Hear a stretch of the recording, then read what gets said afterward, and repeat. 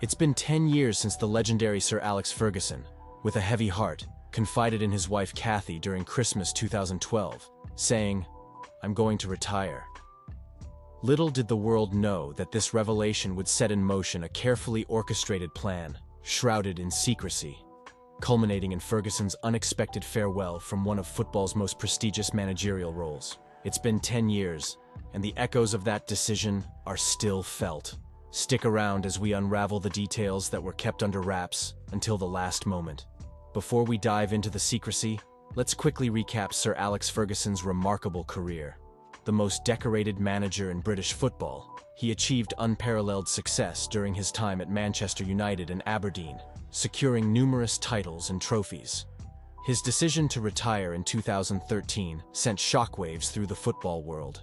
As we rewind to April 2013, only a select few were privy to Ferguson's impending departure.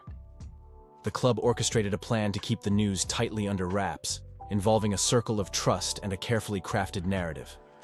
The pivotal moment came with a lone voice declaring, The king is dead, long live the king, leaving those in the know stunned.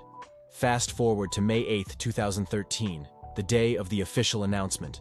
Despite meticulous planning, the news broke prematurely, causing frustration for Ferguson. He had envisioned a different scenario, but the cat was out of the bag. In a series of brief meetings, he apologized to his closest staff, confirming his retirement. The announcement didn't disrupt preparations for the final two games. Staff members, players, and even the media were caught off guard. Ferguson, who had been actively involved in planning future seasons, revealed no signs of the momentous decision he had made.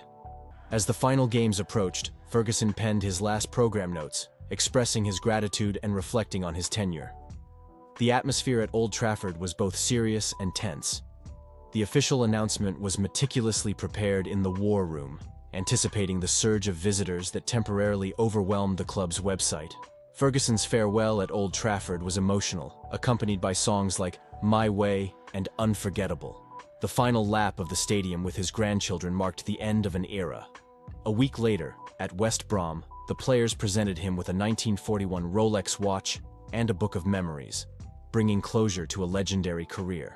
As we reflect on the secrecy, the emotions, and the farewell, it's undeniable that Sir Alex Ferguson's retirement was a defining moment in football history. The legacy he left behind is still evident in the impact he had on Manchester United and the sport as a whole. Don't forget to like this video, subscribe to our channel for more football content, and share your thoughts in the comments below. Until next time, this is Footbalistika, signing off.